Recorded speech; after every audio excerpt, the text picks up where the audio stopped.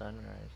The sunrise. David and I have been memeing about getting up for the sunrise. My sleep kind of got fucked because every time I left the window a bit more open I got destroyed by bugs.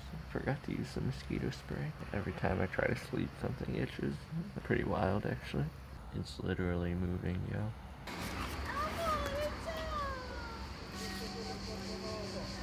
We're buying some water. So uh, today's the last full day. I pretty much have a full day tomorrow. Flight's at like 8 p.m. Depends when I get up today. I guess I got up at 12 because I was sleep shit. Still an espresso, right? No cappuccinos after 11. Macchiatos only.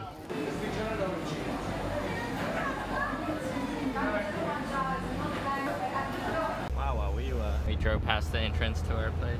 Now we're on a little one kilometer adventure past the normal entrance.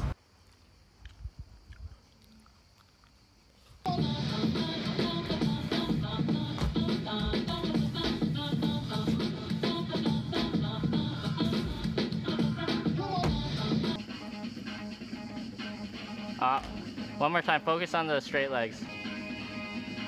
Yo. Yo, what, man?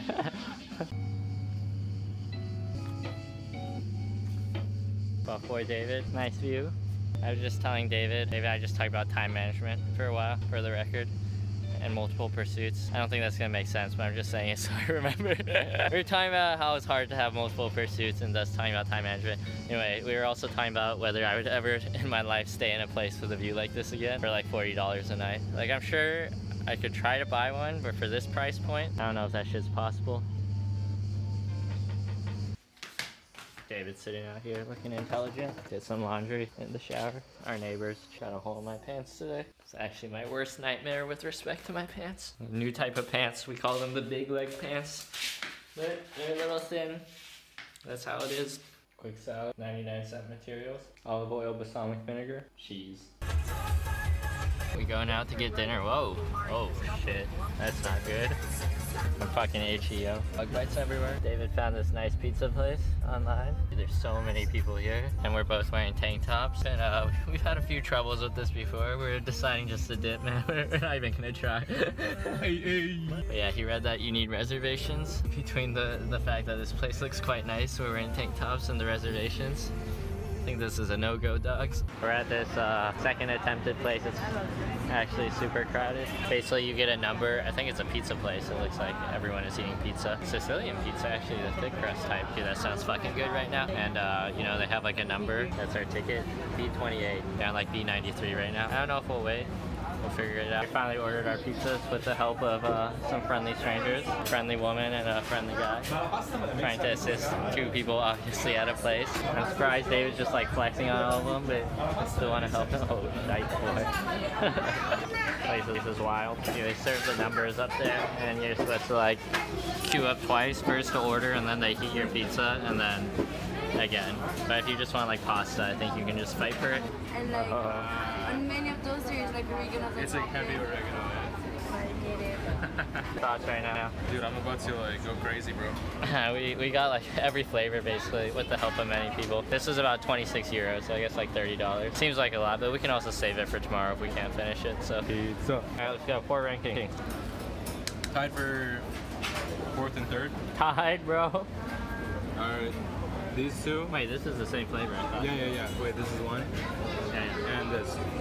This is third and fourth for you. Third, third. Like two plain or what? Um, I think it's more like personal because like the flavors are a little bit different than I'm used to. Yeah. Less satisfying, but like in general, it's like more niche. Uh, first and second. Uh, these two tied for second, Wait, we have five flavors or four flavors? and number one's right here, baby. oh my god, bro. I'm shocked. Wait, but actually, are these tied for you? You, you think these two I are actually the really same? like this one. Yeah, I think this one's better. This one's hella bomb. Wow. I don't even know which one this is. Free biscuit that we got from the owner of this shop. Wow, what a coincidence. Yeah, it's the one you're looking at. Yeah, I wanted. I was like looking at that in the window, and I was like, I want to buy these. They look like little donut holes.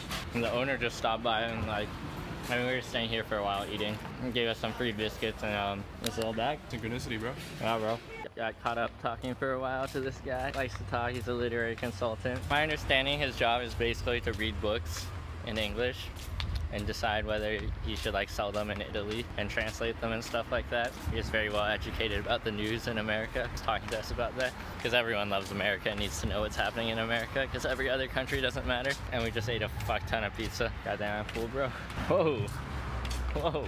Now we're gonna pray we didn't get a parking ticket. Like, we're looking, it's like half the people seem to pay for parking, half don't. But for the most part, I would imagine from what I've seen in Italy, people don't really give a fuck. So I hope we didn't get a ticket. This is this guy's uh, Facebook page, or it's like his Facebook community page. 13 likes, bro. There's just like a picture of some ladies in bikinis, and he was like, I made that. I'm like, yeah, bro.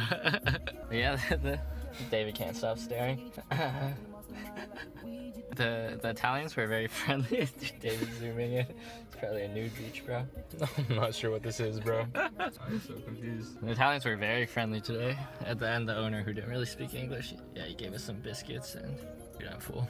We're gonna try the biscuits. What? We're gonna try the biscuits. Oh, the other ones? Mm. Is this because the peach froze? What's going on, son?